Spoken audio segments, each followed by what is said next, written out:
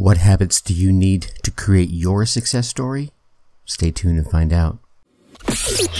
Welcome. Okay, here's the question. Serious? How are we dark horses? You know, the ones everyone is betting against, the ones they don't expect to win, place, or even show on the track, and they'll even laugh on us when we talk about trying. How do we show the world our greatness and triumph? Come on. Well, that's the question, and this podcast will give you the answers. This is The Dark Horse Entrepreneur. Ah, my name is Tracy Brinkman. And push it out. What is up? What is up? What is up, my dark horse friends and family? Welcome back to your ongoing dose of success habits learning. I'm your dark horse host, Tracy Brinkman. And you, well, that, my friend, is infinitely more important. You are a driven entrepreneur, or perhaps you're one in the making. Either way, you're here because you're ready to start, restart, kickstart, or just start leveling up with some great marketing, personal, or business tips and results in order to build that beautiful business of yours into the empire it absolutely deserves to be. And that's why I'm here hitting you with yet another solo success episode coming to you straight from the Dark Horse HQ as we dive deep into success with actionable advice, tips, and steps designed to help you level up your game, your business game, your social game, your personal game, your spiritual game. Because, you know, at the end of the day, we all know there are no shortcuts to success except for taking those little steps towards your goal every single day. Now, speaking of little steps, I know you want to keep getting all these uh, great tips I'm able to share, as well as the amazing uh, interviews from the folks I'm lucky enough to bring on the show. And uh, to be able to keep doing that, go ahead and go on down there, hit that subscribe button. And while you're there, leave us a five star rating and drop us some kind words in the reviews. Ask questions. Tell us, folks, you'd like to hear us uh, get on the show uh, some folks who think we should interview. Uh, maybe that's you. Say, hey, you should interview me, Tracy. I'll, I read every single one of those reviews, so go ahead and do that. It, it is the subscribed ratings and reviews that tell those podcast platforms that you are getting that value. So they'll raise us up a little bit uh, in the rankings so that we can reach more driven entrepreneurs just like you. So please take a moment, show the love, and help spread the word. Success. Man, what does that mean? I, I think that question, if you asked it in a room of 10 people, you'll probably get at least seven very distinctly different answers, possibly 10. But you know, I think one of the things to remember is that success stories don't always come from naturally successful people. They come from ordinary people that get out there. They have the big dreams in their heart, in their minds. They got the stars in their eyes. And they're truly dialed into the goal that they want to achieve. And they're out there every single day, sun up, sun down, busting hump, grinding away, taking care of business, making shit happen. And maybe that's you right? Uh, maybe you're at the beginning of your journey. Maybe you're deep into your journey and you're still grinding away. Um, I, I know it's how I am. So I'm going to imagine a number of you are the same. And I think one of the things that really sets the successful, the eventually successful, and I, I say successful because I think if you're reaching for the stars, if you're reaching for your dream, you're already successful, right? And so when I say successful, keep that in mind. But I think one of the things that sets the successful apart is how they use that tool between their ears. Yeah? All right. How they use it to focus on their goals, how they use it to, you know, keep themselves motivated, how they look at the world sometimes is, is just as simple as that. Um, uh, I think there are a number of folks out there that equate success to material items. Oh, I got the big house. I got the fancy car. I got big numbers in my bank account. And you know what? Don't get me wrong. I, I that's those are the trappings of success. But that's really only a fragment of it, isn't it? Because if you think about it, how many of those of those types of successful people, those ones where it's all about the house and the car and the, the trophy spouse and the perfect children and the manicured yard, you know, and, and all, all those things, the, the, the trips overseas. A- anyway, you, you get what I'm talking about. They're so focused on that and, and they achieve it. So they look the part, right? When you pull up into their driveway, you're like, damn, this guy's got it going on. But you realize as you get to know them a little better, inside, they're dealing with imposter syndrome. They're feeling like a fraud. So really, I'm not asking you to answer the question, what is success to you? Um. I, I mean, that's a part of it. I really want you to answer the question what does success feel like for you?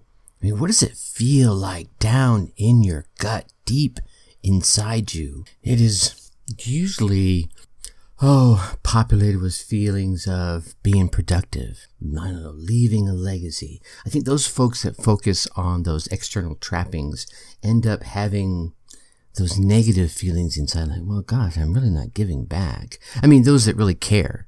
I mean, there are those that are just all about the facade, and that's okay. But I don't imagine those are the type of people that are still here listening, you know, six plus minutes into the podcast. But those of you that are out there still listening and want to create that success in your life, you're going to be or already have developed this inner dialogue of success, this inner dialogue of achievement.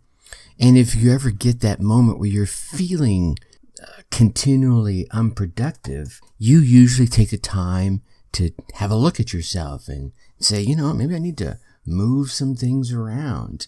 Maybe I need to change my mindset. Because, you know, at the end of the day, success really starts with that growth mindset. If you don't have a growth mindset, you're going to reach a certain point and you're going to stop because you're not going to grow. Right? It's just a, uh, a fact. And I think one of the cool things is when you have this growth mindset, it usually pivots off of the value that you have for yourself, right? When you're fixed on the materialism, usually you're putting the value on those items. And that is going to limit you from unleashing the power inside you in this high performance capacity and engage all your strengths and talents. But when you're focused on yourself, on your value, on those strengths, on those talents, man, the growth and expansion you have available to you just expands by leaps and bounds. So let's take some time and chat about some of the, uh, I'll call them the six habits that we all need when it comes to this. I don't know, my, call it a mindset shift. Um, and, and, and, maybe you have all of them and you just need a, a quick reminder. Uh, maybe you have some of them and you're like, wow, I never thought about that one. Uh, but, uh, you know, take a listen. I think the very first one you're going to want to have to focus on is having a really clear understanding of what success means to you and your life. And uh, obviously, you hear me all the time talking about, you know, what are your goals? Well, yeah, you want to clarify your goals because uh, that really is is vital to yourself. But I think what I'm talking about here is once you've achieved a certain success goal, he says with air quotes, how would you know you achieved it, right? Uh, it, it's not like you say, hey, I want to be rich. Well, that's kind of, you know, vague, right? If you have a very specific goal of, I have, you know, $250,000 in my bank account and $50,000 in savings, right? That would make you feel rich. Then set the goal like that. So make it so it's clear when you say, I am successful what that means to you so that you have a clear understanding of what success is. Then, once you have those pretty well defined, and you say, "Yeah, I already have that, Tracy. You, you've beat goals into me. Those are all very clear. I know exactly what it's going to look like when they're oh, awesome. You know exactly what it's going to look like when they're completed. Awesome. Now, declare your intentions, right? Find your intentions and get out there and, and declare them have a crystal clear view, that vista vision of where you want to go and what you're going to do when you get there, right? So many people are like, ah, oh, I want to go here. Okay, cool. What are you going to do when you get there? Well, I hadn't thought about that. No, you can't do that, man. Uh, as you're going there, you've got to know what you're going to do when you get there. Otherwise, you're going to waste time when you get there, right? And then be- beyond just what you're going to do, why you're going to be doing it, right? Where do you want to go say while you're doing it. It's it's all part of that Vista vision we've talked about before. And then I think inside of that is what are all the things you're going to have to do, um, the people you're going to have to help, the other things you're going to have to accomplish in order to even get there, right? Set those intentions of for your success journey. Uh, make it part of your, I know, I'll be a little woohoo here a minute, uh, part of your uh, success consciousness, right? Visualize the, the next steps that you're going to have to accomplish in your plan to reach that goal so that you know what it looks like. You can feel it.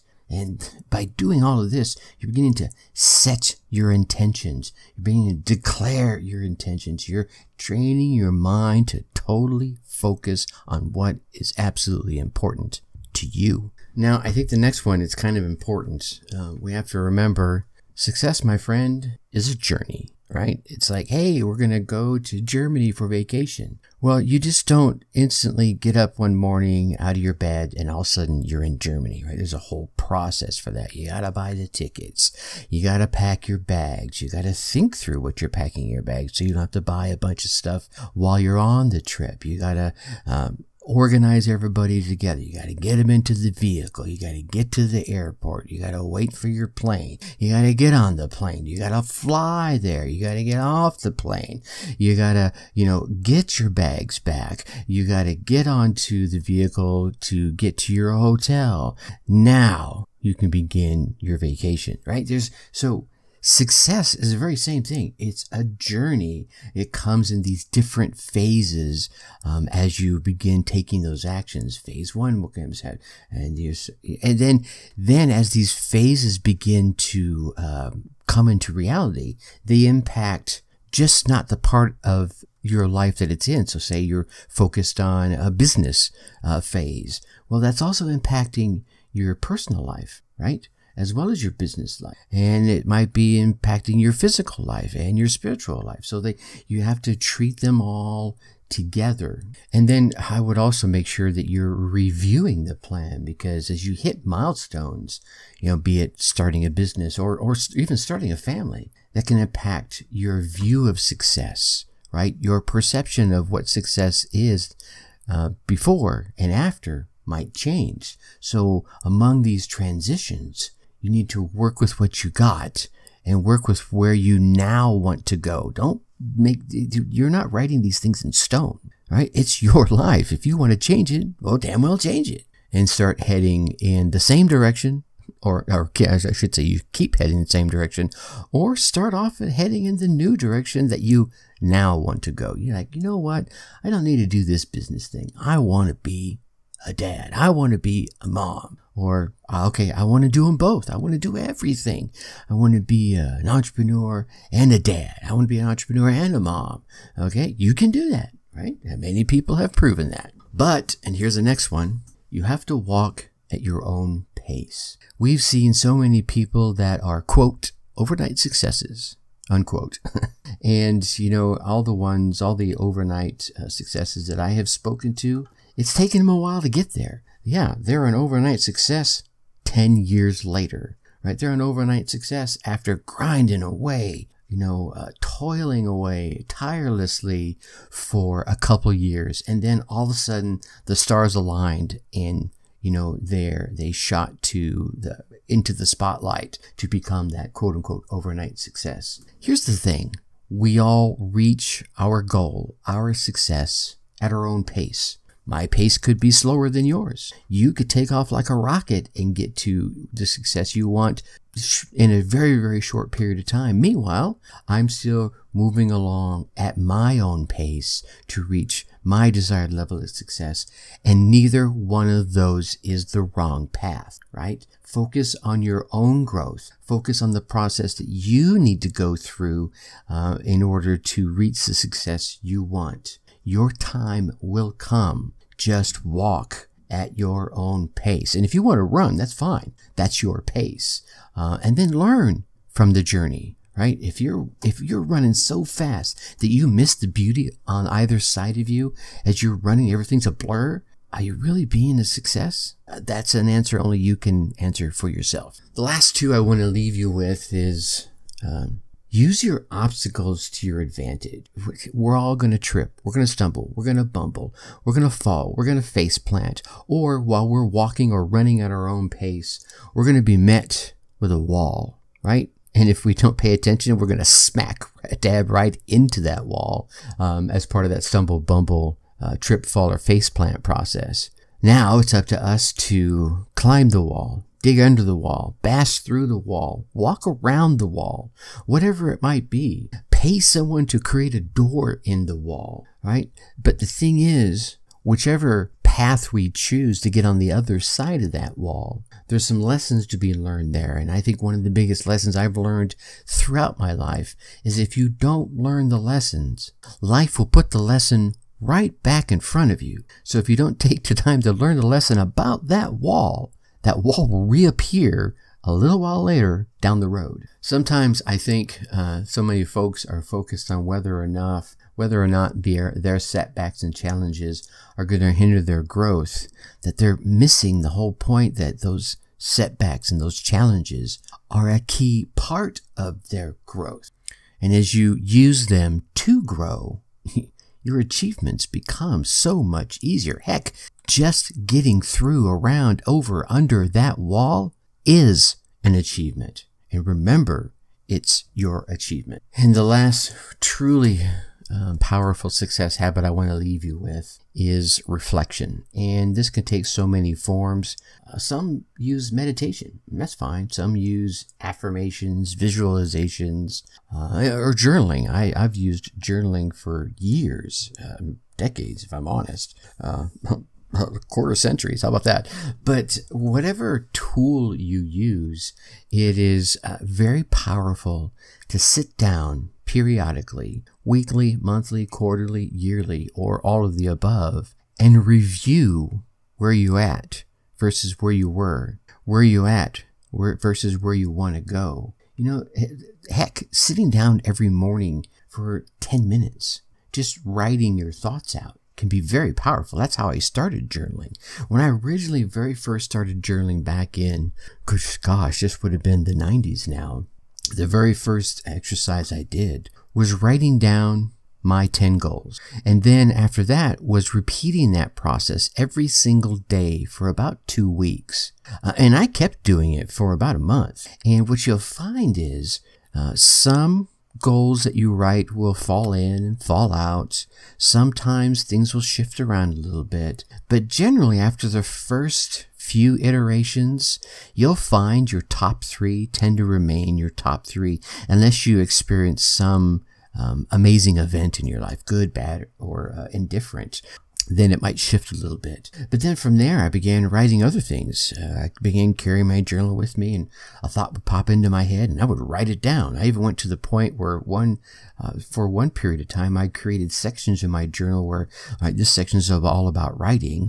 This little section here in the back is going to be about new ideas, and then I left myself a, se a section for just doodling. Um, that was short-lived uh, because then I put my doodling in with my journaling, and then my ideas also started to fall within my journaling. But whenever I came up with, oh gosh, I have to do this, I put it in a certain spot within the journal so I could find it really fast. But the point was, it, it, gave, it became this place of reflection uh, for me so I could think about things. And here's the really cool thing about this particular version of being reflective is you can go back and reread it. So not only are you remembering where you were, but you can actually go back a year, a month, a day, a week, two years, a decade later, and really remember exactly what was going on inside your head without the um, cloud of time. Because sometimes time can allow us to remember all the bad or all the good, depending on your uh, your point of view. It allows you to go back and reread certain time frames going, yeah, I know what that felt like, right? And you, the feelings can bubble back up good, you know, and so you can use this to your, your advantage. Anyway, what, uh, sorry for babbling on like that, but being, taking the time to reflect via a meditation, via affirmations, via visualizations, or if you choose journaling can be very powerful. It'll help you set your intentions for the day. Um, you'll help set your mood, help alter it, help enhance your productivity. Um, it helps you in turn get a lot things done, a lot of things done, a lot faster. And really, for me, I find it really helps solidify a more powerful, more productive mindset when it comes to reaching uh, for the stars as you keep your feet on the ground, as Casey Kasem used to say. Using these success habits, we'll call them, can help you develop a really powerful success mindset, which can not only be beneficial to reaching the success you're looking for, but man, I imagine the benefits of mental health are amazing as well, right? And I think there's a there's something to be said about your ability to be able to attract or manifest the very prosperity and success that you're working to bring in physically, right? You'll feel a little more at ease because you know, right? You're, you're working towards your goals. You kind of have a, this inner peace about them. You're going at your, um, at your pace. You're reaching for your goals. And when that first obstacle comes up, you know, you're going to find your way over it, under it, through it, around it. And most importantly, I think you'll feel successful inside yourself. Isn't that what we all want at the end of the day? Yeah.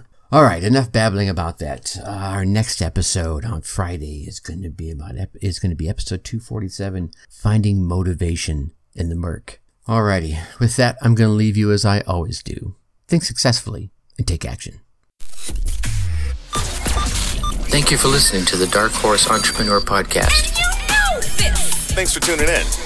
Check us out at www.darkhorseschooling.com. All right. My name is Tracy Brinkman.